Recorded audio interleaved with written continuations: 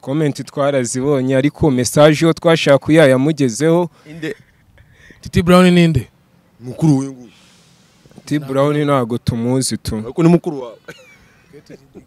Twe tuzi digi digi cya nyamuda. Ntabwo nzi titi I'm big energy pa pa. one shot pa. Genda umu big energy man. Mwasabwe imbabazi umva twa Batsinzwe, badusabye batsinzwe. imbabazi batsinzwe amaboko bayamanitse ubundi hari umuntu ugombwa ubuzima bwawe kugira ngo aguteze imbere? Umva ikintu kiba gihari man Eh. burake ntabwo uri kapu. Aya rero ni? Iryo- rega buriya mwana we. Ariko bandi bantu bayemerana bacece bose bari gukatira Yarabafashije man. se? batwiriyeho man munabimenye. Yaje nawe twitirira avuga ngo ni umu big energy we ntabwo uri umu big energy wagipetiwe. Njye nyine niyo mpamvu right now with my big brother I don't peace. I want problem always.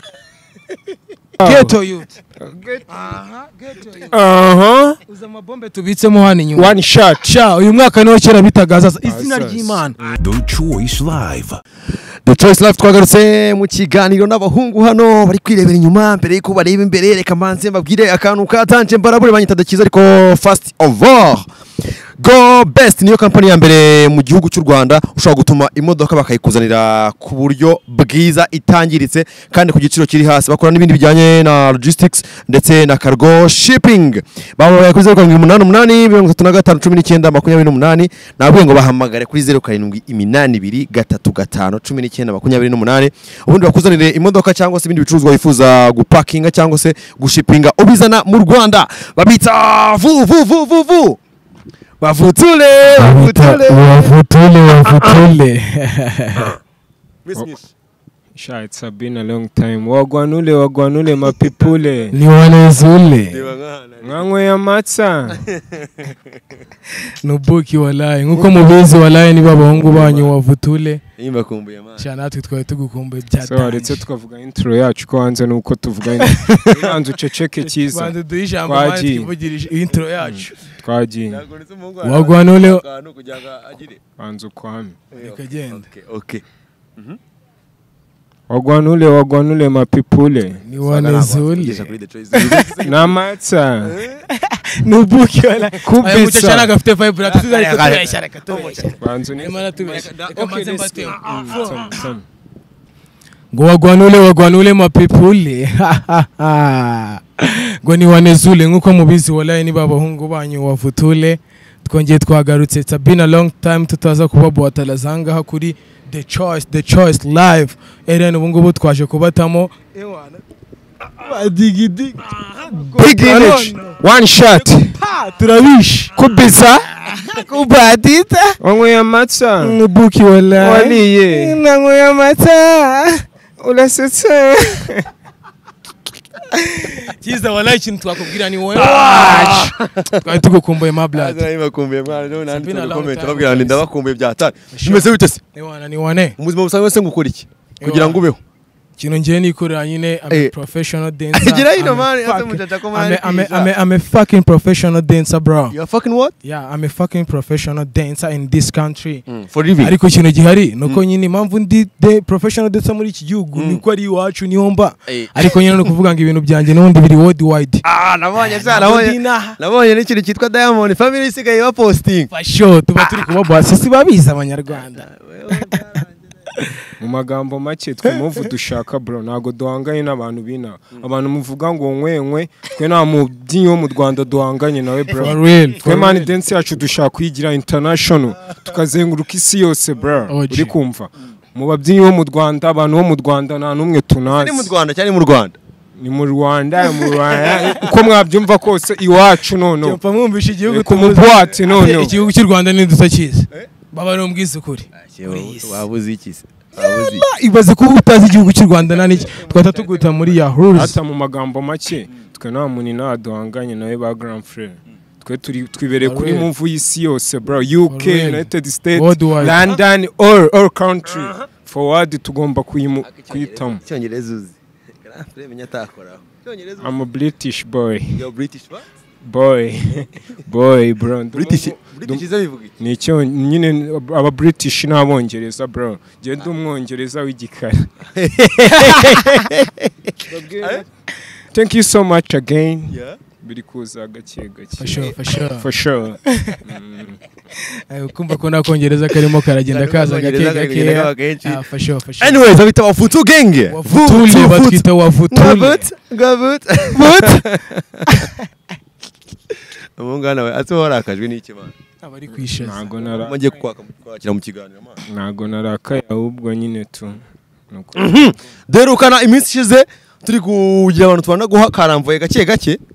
Ubu ngubu noneho ntabwo munsi ubu ngubu twagize gute turagaruka? ubu ngubu noneho ntabwo bikiri lamvuye ari mu gihugu. Ubu ngubu noneho ni ukuba- ni ukubata heza. Iragenda bite uno munsi? Noneho amakompura dufite wallahi. Ah, uno munsi rero twagiye twagarutse.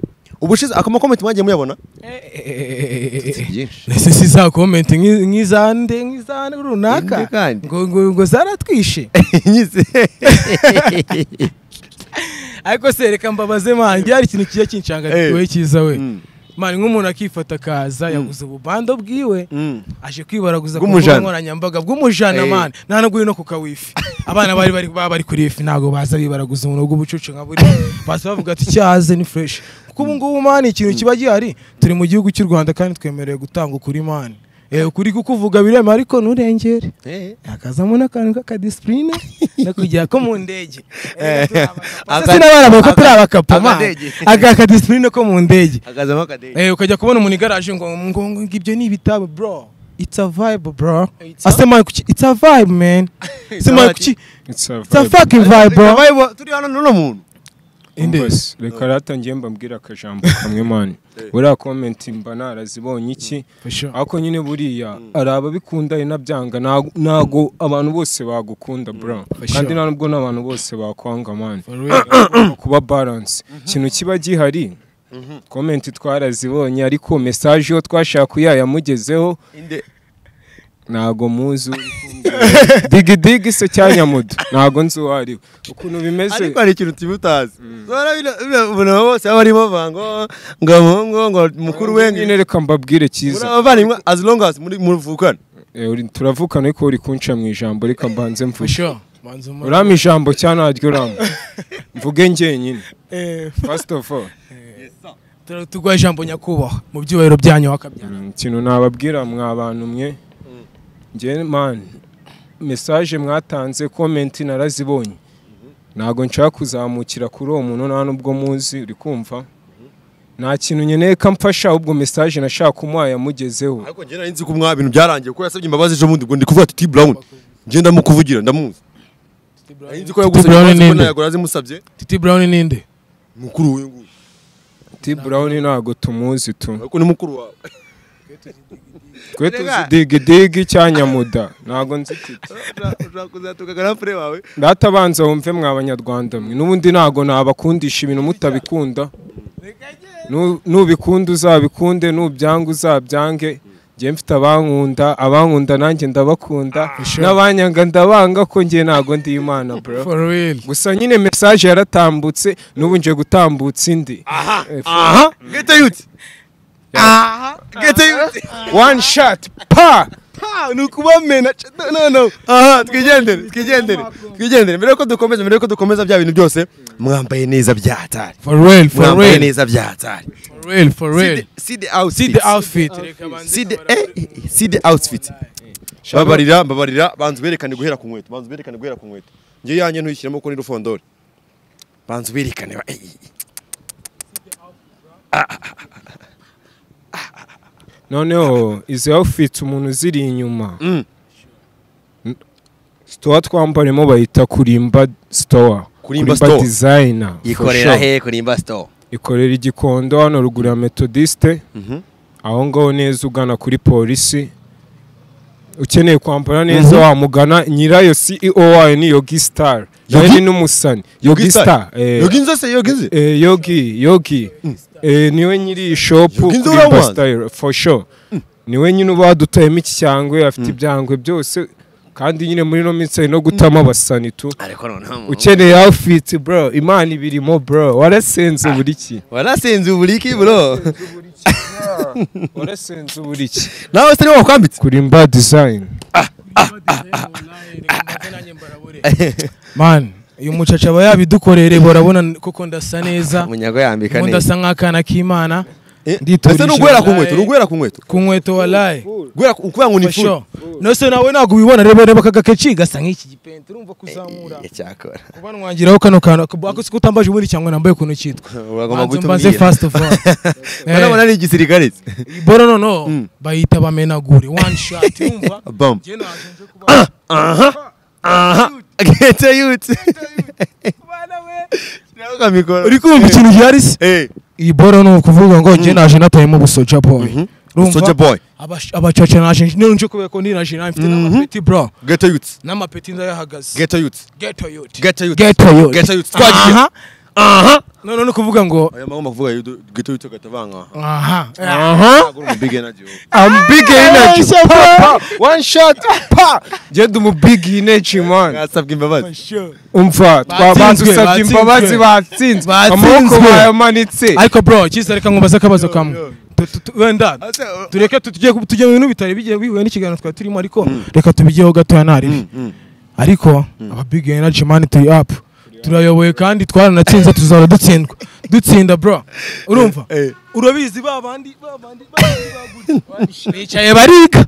Bicaye bariga mani bahabye tuba tubibona bro. Kandi koko ikintu kiba gihari yagavugisha ukuri bro. Yagavuga ukuri nta kintu na kimwe avuga kidaciye mu bucyo abamusabye imbabazi muri kugenda mubabona.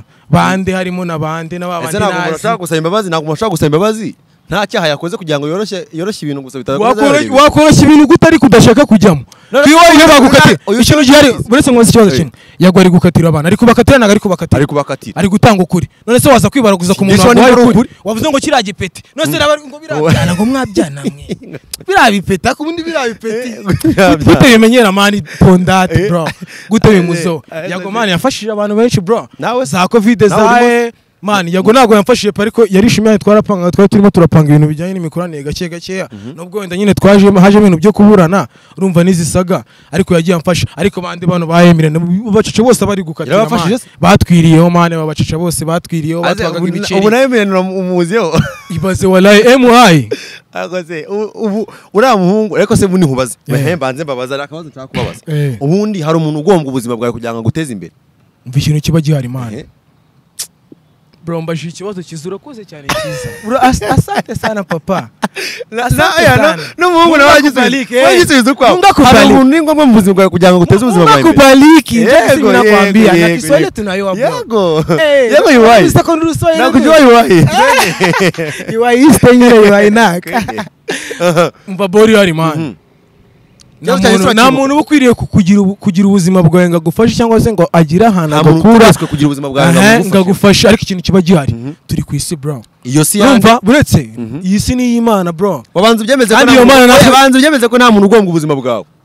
Kugira ngo abuteze ibyo imbere bintu ntabwo twabyemeza ni wowe ugomba gusa ikintu cya mbere ni ugusapotinga no gufashanya kuko ibintu bitabaye magirirane nta muntu wigira bra nta muntu wigira inde none se Ni urugero rwa mbere. utagufasha ntiyafasha undi inde indese Utagufasha ibaze ko ari gufasha undi kandi nanjye nyine ubufasha bwe kandi nyine nawe cyangwa nshaka no gufasha gute atagufasha afite ubushobozi bwo kugufasha se ariko se ni itegeko kugufasha nta n'umuntu ariko dukeneye ko adufasha ninde nabwiye wundi ndabwiye kwafasha ninde nasabye ubufasha hano ko ari wowe ari wowe uteza abacaca urabwira urabwira wowe uteza abana bacaca. Kuremire ntego ntiyagufashije ategetswe ubuzima bwawe Irene se murazi ariko ibaretse ngo bazi ikibazo kimwe.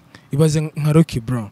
Nka Rocky man arifashe ngiye man ndamwandikira sapo bro. Areba ibintu byanjye mutamona video ndamubwira bro ko nawe ibintu bimeze. ngagupostingire na byo kumpostingira postingira si biki man Rocky afite abantu badanje wakoraho se wakoraho? Eh? Wakoraho? Ibaze ariko njye uretse na- ureka nanjye sambe mu big energy nanjye sure. kuvuga ngo hari ikintu kimwe mugomba kumenya. Abantu ba rock afite bamuforowinga abamurayikinga nta n'umwe muri mwebwe wamufashije kubabona. Hari uwapostingiye rock muri mwebwe eh ubwo se rimwe se. Uzamwishyuza ibyo? Uranamufana? Wowe uramufana ukaba ushaka gufasha ku itegeko eh kandi nanjye ari umufana wanjye. Eh, ni umufana wawe wese ko yigeze gusaba kumupostingira. Nawe aramfana sha yabonye ibikorwa byanjye nabwiye ati mwapete mwe murarenze ariko nyaka ibiceri. Gute nyaka ibiceri? Reka, reka. mwana. Yak- yakuye kwatsa amafaranga. Ibaze nyine namuhaje icyo kintu kingira ngo ngo ngomba kwishyura. Namuhaje se grand frère. Mwishyura amafaranga angahe koko? Ariko nimba umuntu ari kubafasha niba umuntu ari kubafasha ku buntu mukamumena kuriya abafashije ku buntu. Cyiza cyiza uri grand friend Eh. akuba. Ubu wanyishyuje. Oya none nanjye ngiye kuzamwishyuza n'umunsi usigaye wishyura ibaze ko wanyohereje n'akamodoka kaza kuntwara siteyi mu rugo. Oya, wanyohereje n'imodoka iza kuntwara aho ngeze nuje amafaranga roki ibaze nyine bose ibaze ibaze ko uri umukozi wa the choice. Ariko roki bosi umurusha ubukaburoki ntabwo uri kapu aya roki ni? Ibyo- reka buriya mwana we ibyo wakivugisha byose. Urega ubukapo bwa roki ntabwo ari we ugomba kubumenya ukomeza wigure shabyo ntabwo irakureba n'ibyawe. Njye ntabwo njya nigura. Ntabwo uri kapu. Noneho ikintu cya mbere uranyishyuje mani uranyishyuje ro- roki nakwishyura iki? Namuye iki, kumana aba ya- yagize njyewe no munsi mfite turi mani ama- kuri dosiye ya roki njyewe no munsi mfite kintu ama- duhere kuri dosiye za- ziwe tuze kuza kuzawe inyuma. Njye roki nawe nzi njye mfite amagambo yanjye ndabwira abanyarwanda. Ari kwishaza. Ariko roki njye yarambabaje niyo mpamvu nanjye ntabwo muzi wundi uramucaca ikintu cya mbere twemeranyijweho ni kimwe nta muntu ni ngombwa ku- kugira ubuzima bwawe bwiza. Ikintu kiba gihari Mm. tuba tugomba gusapotingana no gufashanya. Cyizere ka wowe nande iyo utaragize sapoti wenda hazamo n'agaso kawe no kwirinda Mm. ku giti cyawe tu. Ariko iyo utagira abantu bagufasha cyangwa se abantu bakumva ngo bumve ibintu byawe babone impano ufite na taro ufite n'akazi ushoboye ntabwo wari kubura ahangaha mani kuri the choice. Ugira ngo se hari umuntu wazanye akanterekayo Uzi impamvu ndi kubwira bino bintu? Eh. ni kubera ko Mm. mani kuba turi hano tu ku munwa ariko haba yajeho akantu ka- kaba kagije Eh, twagiye twagiye. Iyi- na yo ni Uko twagiye. twagiye ntabwo boro mani kari kajeho kagurutse ndura tubo twumwe tutatuje kiza mani ikibazo cye mani atizanye abantu mani baba muteje mu kanya uraje umbwiye ngo naje na na Se- broje grand frere frere mwana kutavuga mani ntabwo grand frere kuba mani tumvikana ntabwo bivuze ko hano nawe uba warakaye. Garamfure wanjye harya bamwita nawe nanamwibuka titi brown harya akora iki nyibutse umubyinnyi ukomeye wa mbere mu gihugu cy'u rwanda. Wa mbere se byango byemere. Muye densi sa densoro afro densi snake hip hop contemporane iye densi Contemporary densi igira ku kategori nyinshi mwana uwa mbere mu biki? Basi mu gihugu cy'u rwanda. Muye densi mu muye bakorografisi bo mu rwanda badanje yabyinnye mu yesi yaririmbye ibyo bintu uvuga ntabyo nzi ajya kana n'urugi si yo wayikozera akana si urugi Eh.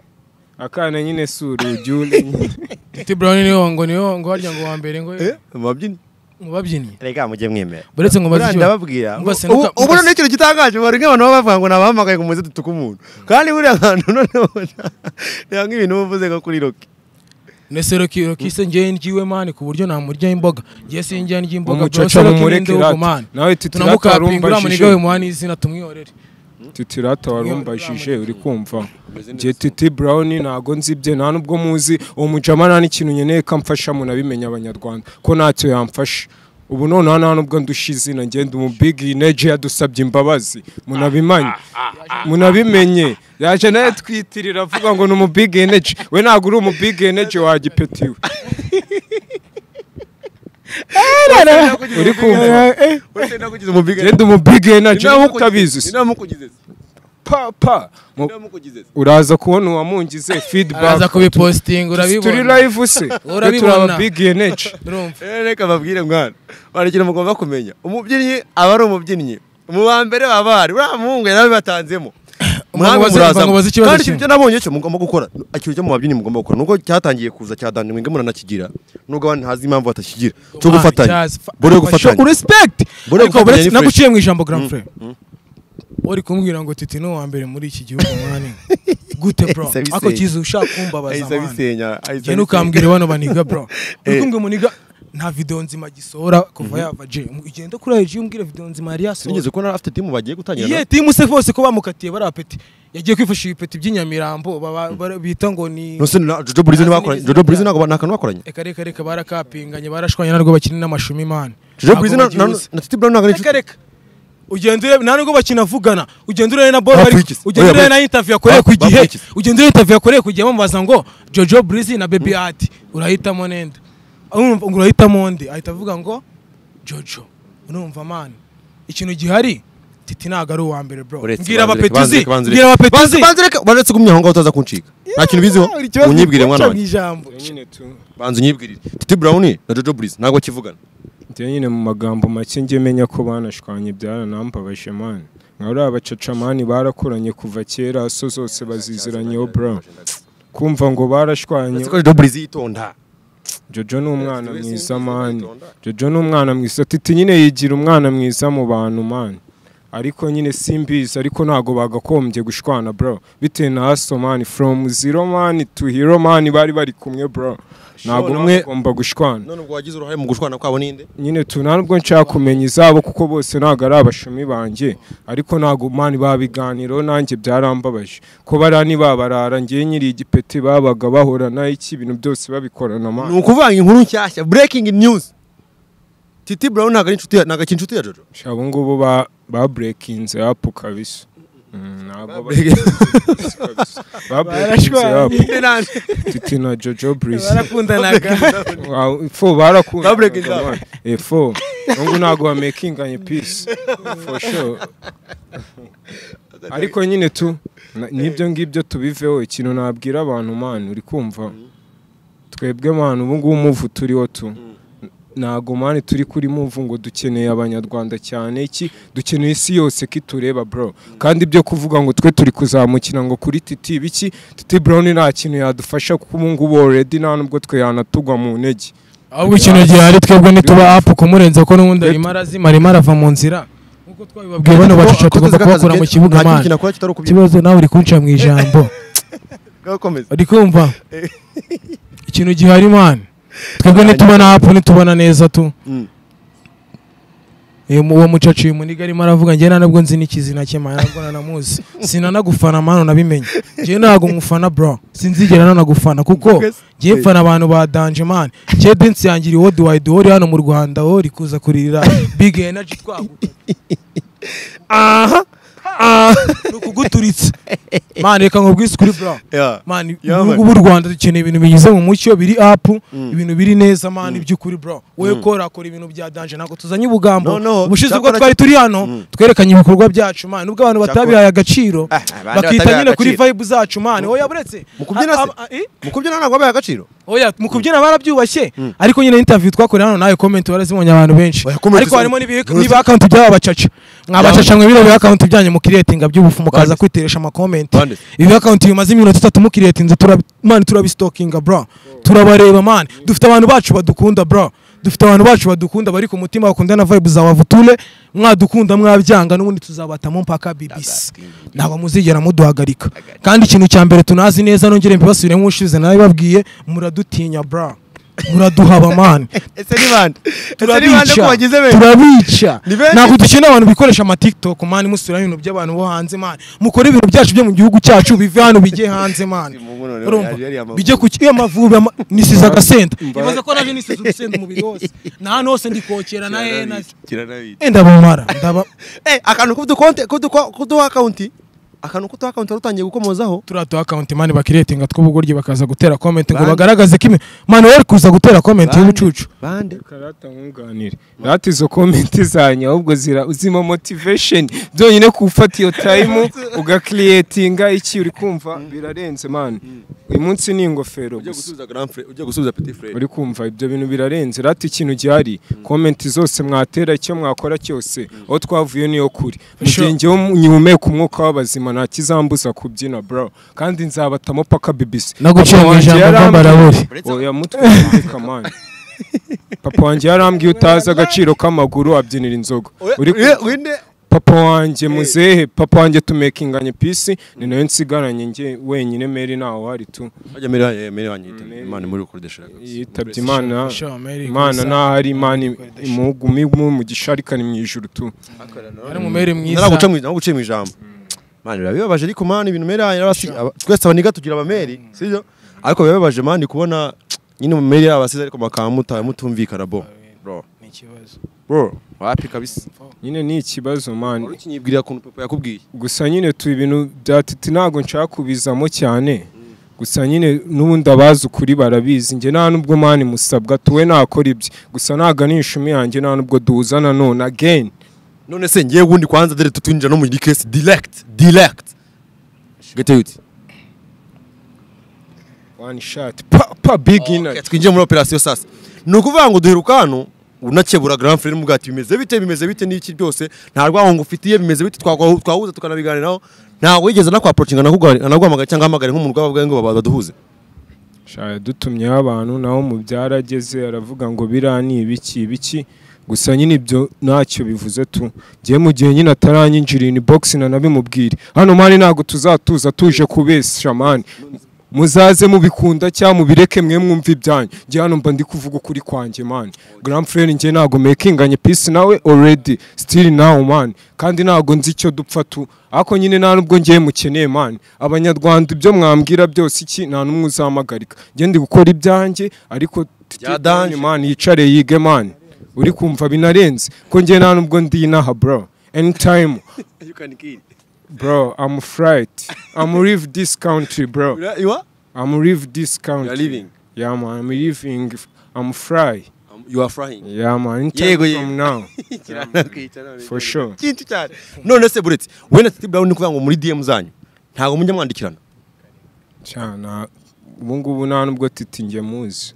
None se na nimero za Titi Brown ugira shanga ibaze turafolowingana n'ahantu hose icyo ariko sinzi ni n'umufana wanjye ariko ntabwo nzi impamvu niba aba yatinye gusa utambwire tu kuko nyine n'abazi ibikorwa Vuturesha!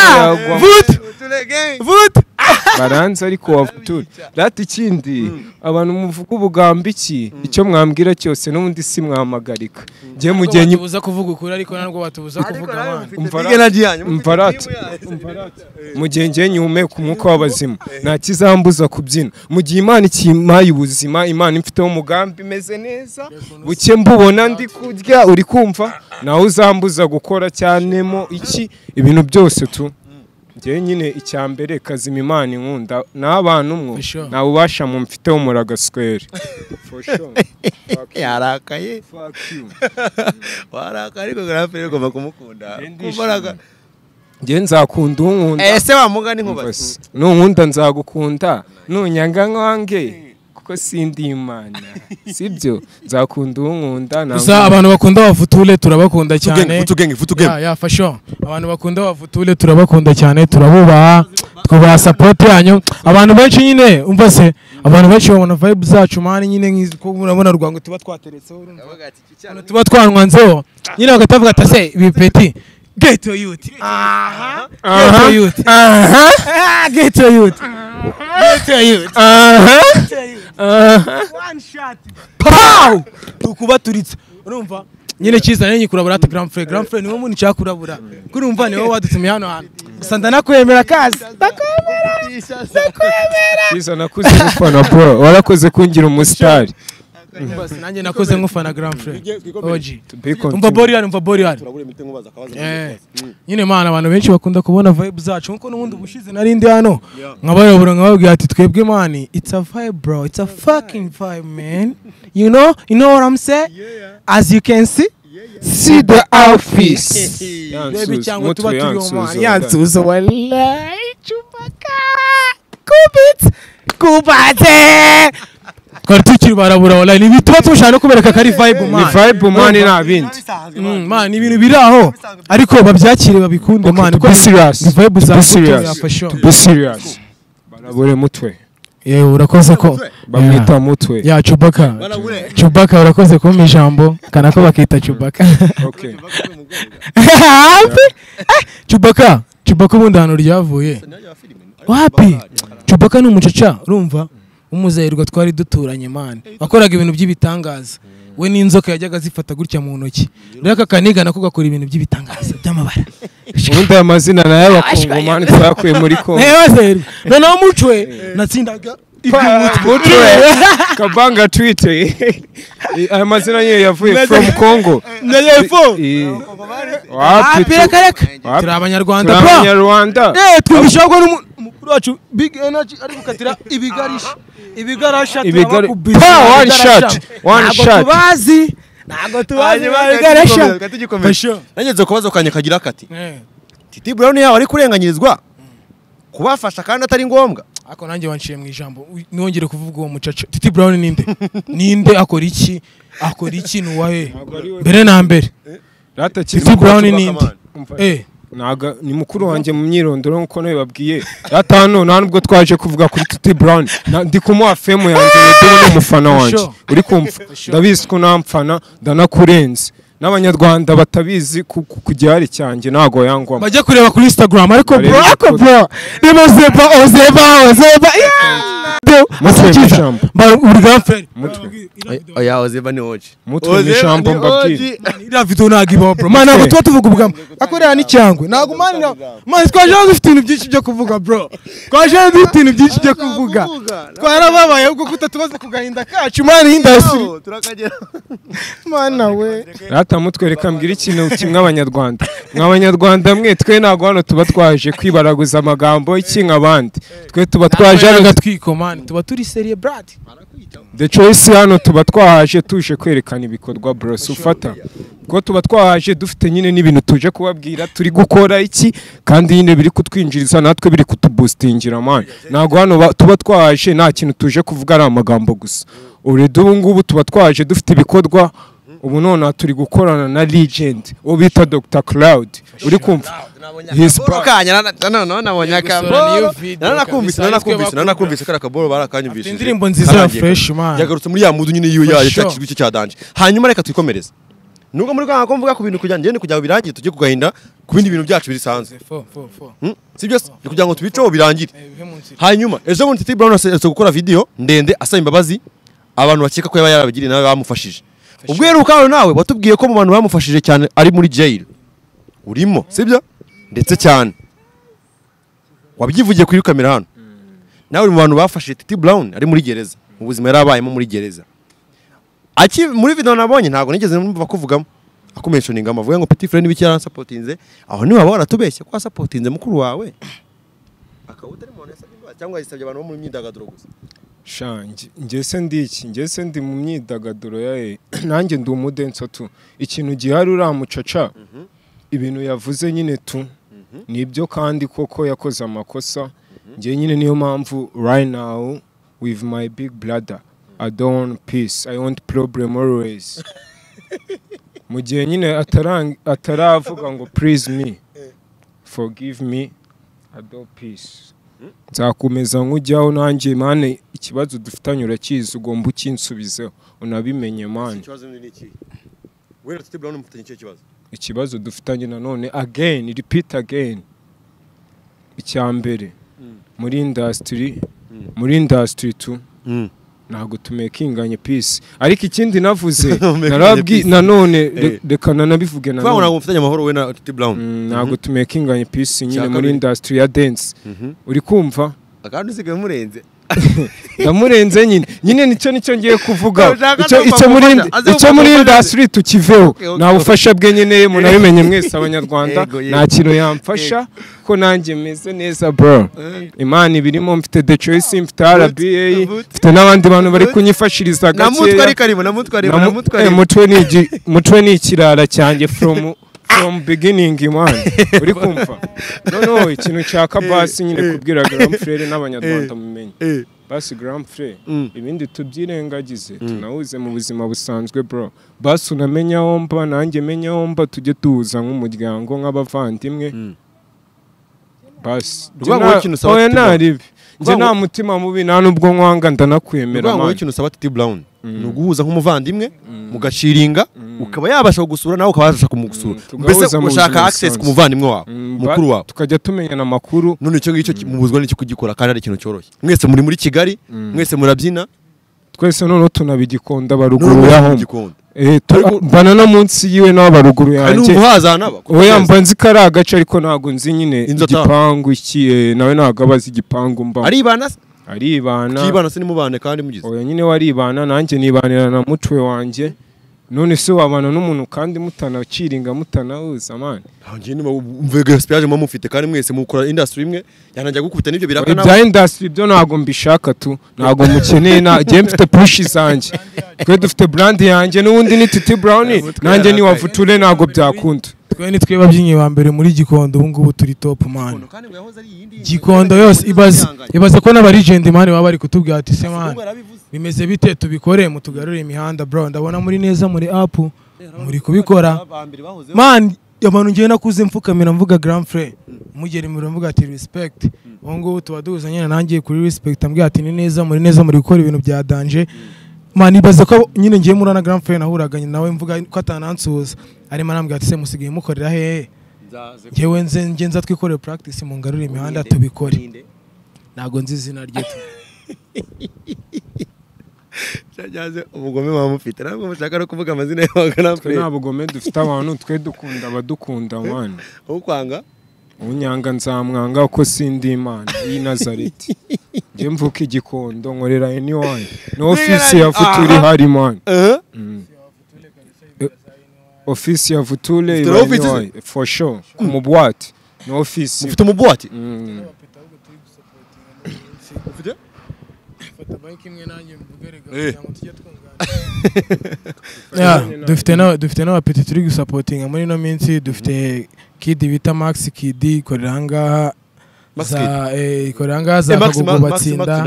Eh bari abapeti buri abapeti bwinshi. Mm. so hari n'umuntu ushaka kuba yadutera inkunga cyangwa se yabafasha bari abapeti Mm. yadusapotinga muri bana bajya babyina turashaka akavidewo kabo tuza gushaka akavidewo kabo bajya babyina n'ububoro twakoresha ubundi bwa fresh busa neza. Turadushyiraho kabisa ni abapeti nyine bafite tara ariko usanga nyine ku bijyanye n'ubushobozi ari ari insazi insazi kabisa ariko hari umuntu hari umuntu w'umuzungu nzi ushaka kuza kubafasha. Ahubwo umuntu wamutubwira kandi abo bapeti bafite tara ni abapeti benshi kandi nyine ubona ko bavamo umusaruro tu yitwa Josh babyaza. muniga yitwa Josh Kigali Protocol. Yafashe uriya ndamushaka muniga muzamuvugisha. Ko numva abi- abiri mu nimba ari ahubwo wakujya tuvugisha uriya muniga nimba akurikirana nk'undi choice twe twamuha namba azaturabura n'undi dusoza abana. ikiganiro wazatubwira nabi. Abantu bashaka gusapotinga abana ba- Max Kid. Mhm. ni ukuvuga ngo wowe watwandikira kuri. Channel uh, Instagram ya Vutu Genge. Ni Vutu Genge official cyangwa se wa Vutule Mhm. so ushaka kuduhamagara kuri namba wahamagara kuri namba wahamagara zeru karindwi umunani gatatu makumyabiri n'icyenda zeru kane tatu gatandatu. Iyo ni iyanjye. Cyangwa iya mutwe beritra zeru karindwi zeru ijana na mirongo icyenda magana atatu na makumyabiri na karindwi. Zeru karindwi umunani zeru cumi n'icyenda zeru gatatu kabiri karindwi. Mox Tick max kid. Tick Mm. noneho all platform ngeneritse densa Mhm. kuri instagram tiktok facebook all platform. Betra densa to all platform hose Bertrand Dance ariko umutwe nawe akwiye oya kugarishyira mutwe ni nikine mu mari ni rya karitsiye. Ni ry'akabyiriro Umutwe ni irya daje Kizamani kaba ari ku neza bacece ariko afite n'umutwe uno uyu boatenga afite n'umutwe. Uyu muniga mwana akunda ku Umucaca. Uzi impamvu gakunda kunyita mutwe se. Mm. kaba kari kunsebya ko tujya ahantu henshi ababibi bari kumbwira ngo nifite direde nziza ngo ndasa neza. Ndabizi ko munankunda bashu nawe ndaba ya turabizi neza ku bantu ba- ukuntu badukunda walaye ya fashe mukunda mutwe Chubaka mukunda wa Futule mukunda timu wa Futule. Turaba turi tuvuga team. tuvuga timu ya Vavuture n'amazina yawe ya mentioning yose kuri mbere na mbere na cyane cyane ari umwana Babarira. w'umukobwa nsigaye mfana babarira bamwita cyuzuzo badest. Cyuzuzo badest. Geto youth. Geto youth. Geto youth. Cyuzuzo badest arabici Cyuzuzo Ni big energy. Kamabwira timu ya Futule Mhm. nimba ari ibyo bashaka. Hagarara nyine ureba hariya nyine kugira ngo bemeze for neza kukinyiriza se Chewbacca? Ah Chubaka nawe agaragara yako se Chubaka cyangwa yambaye kuko wamugaragara. Chubaka ararotse dore igikara. ko rumeze nzovu. Chewbacca. igikara cyashizwe amavuta. Ese wa mugani Melanin. kuki igikara ati Brown akaba ari inzobe Eh, ni inzobe se. Njye mfite ubwiza bw'imana. We ni mukorogo yo kongo. Bazabafunga. Ntabwo byemewe. Komeza to be continue yeah for sure for sure. Let's go to be serious. Yeah to be serious bro. No. Yeah for sure. Yeah timu wa Futule mw'abanya- mw'abanyarwanda mw'ibintu reka mbivuge nuje. Noneho ibintu byo ku- byo kuzana nyine vibe biki bikabibe tubivemo vuga utuje timu ya Vavuture Yeah, wa mbere. yeah timu ya Wafutule uwa mbere bamwita Heritier Dance Eritse Dance uwa Wa- kabiri bamwita Beritra Dance. Mhm. uwa gatatu Cyuzuzo Badest uwa kane Eyokai uwa gatanu bamwita Divine Uwa uwa gatandatu bamwita Dante wa Dantule. Ni ukuvuga ngo Divine wa nawe ni wanyu Divine Uwa ninde Uzi uko uvuze se? Wapi mvuze Divine Gavin? Ubwo Oya, ni Gavin bamwita Ngize ngo Gavin. Divine wa zenda Divine Uwa ninde se divine wa nini? Divine uwa ntabwo nzi wase divine uvuze ni Sinzi uwaye ukuntu bishe. nigeze kubibona kuri rega uriya mubebi yitiranwa mani ni ba divine Ni ba bose divine. Ariko nyine mani. ntabwo ari nka divine divine twavugaga ntabwo ari divine bamwita wa. divine gavin. Divine gavin mona. Eh. Fo ni divine mona twavugaga divine ese gavin. ubu si wacu ubundi na three ngabo. and three boys. Three boys for sure. That's enough. eh Eh, six batatu n'abaniga batatu abo ngabo Yeah. Yeah. Of Yeah. Tule gangs. for ukuvuga ngo sure. ukeneye wavutule gangs noneho timu yacu. We watubariza kuri aka namba zeru karindwi umunani. Ariko banze mu menshi ni ukuvuga ngo ni bamwe bantu baba babyinnye muri gukora mu ndirimbo nyinshi muri ino minsi. Ni twebwe bantu ahubwo Babyinnyi ba mbere batazigera baba n'aba nyuma bari gukora ibintu bya danje tutari twanaza kandi dufite ibintu birenze twakoze muri iki gihugu. Nk'ibisanzwe nk'uko twayobwiye muri interview. BBC. uyu mwaka ni we Kera abazaza. Nicyo gihe ababyinnyi muhindura imbyino. Umufana araza guhwera mufana araza kwipisha umufana araza guhwera kwihesha kwipfisha. Kubatse. Ni ukubavutura mpaka bbc wallahi. Pow. geto youth aha uzi amabombe tubitsemo hano inyuma. One shot. Sha uyu mwaka niwo kera bitaga azaza izina ry'imana. Mujye kuri instagram musacinga beritra dancer. Ufite ubwenge official eritier dancer mwibonera ibikorwa bro. Ntabwo hano tuba tuzanye ibigambo man. no kuri tiktok. Buriya. Sinzi impamvu nakunda kwiba ko abantu bose baba bayiriho man. Ese ni umukozi. Umukozi wo mu rugo aba ayiriho. Rega babazaniye udufone twa make makeya ahubwo tutari twarenga aho ngaho wakabyara we. Hari kampani yanjye. Ufite kampani namamariza abantu baba bazi ko muri ibirara rero. Ii, Ako ba- kantu nagakunze. Babwire No, Ufite no. kampani? mfite kampani walayi bayita dopic electronics. Urumva? Dopix electronics. Ikora iki? Ah, icuruza ibikoresho ama bluetooth amafone ya danje fone zifata ishusho rirenze. Bakorera ahangaha mu mujyi kuri kuri tbc ahateganye na simba mu mujyi ni ho bakorera kuri floor ya mbere. Ya amavideo mubona dukora arenze ni amakamera yabo tuba turi gukoresha amafone ya danje muba mubona dufite amafone adufatira amasitati ayo mashusho nibo badutamo.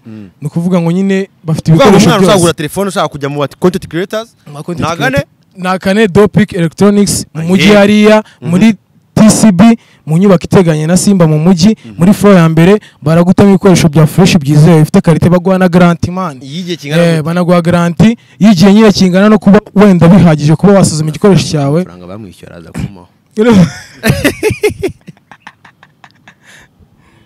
Umva se? Ni ukuvuga ngo ikintu gihari.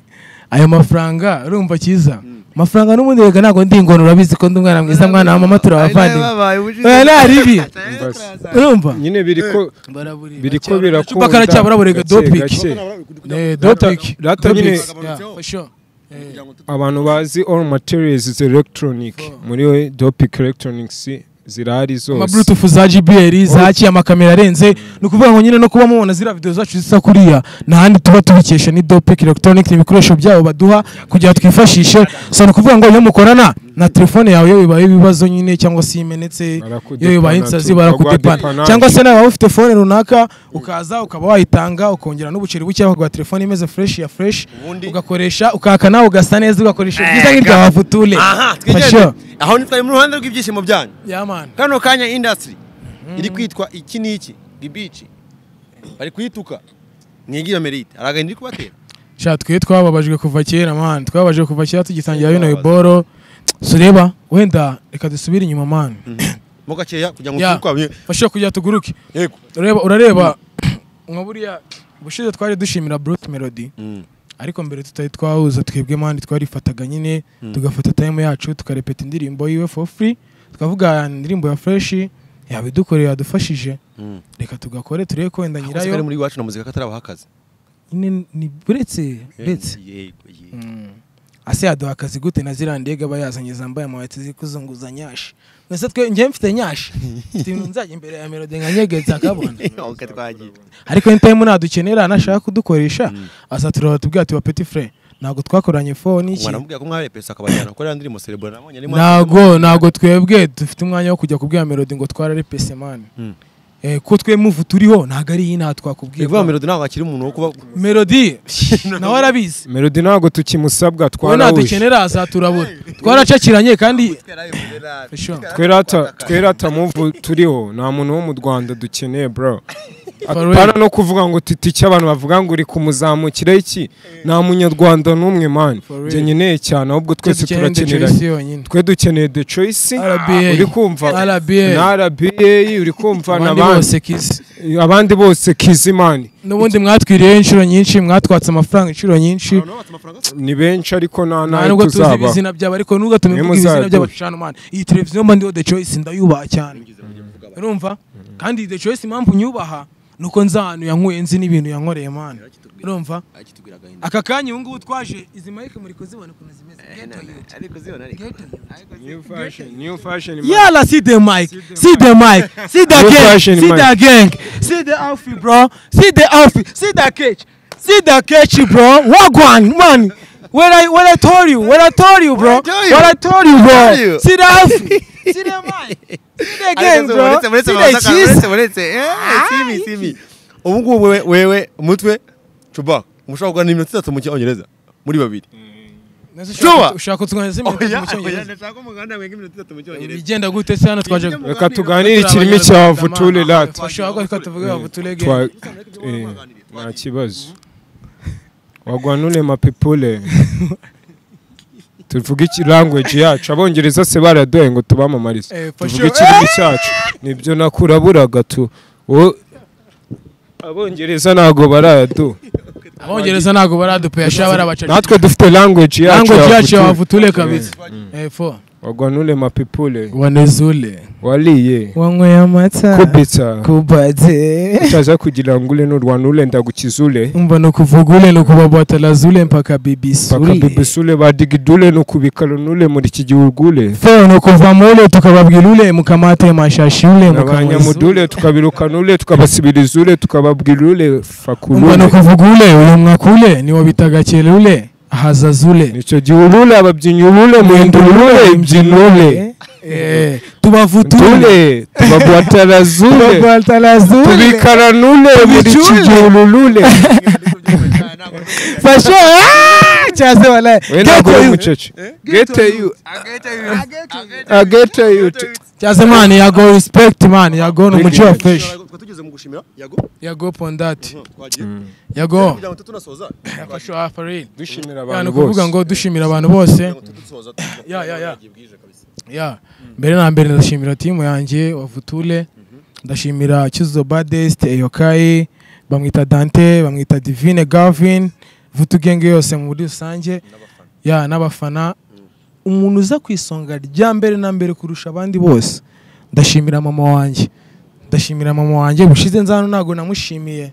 Nyine nageze imbere ndabyibuka birambabaza bako nazagara n'ibiki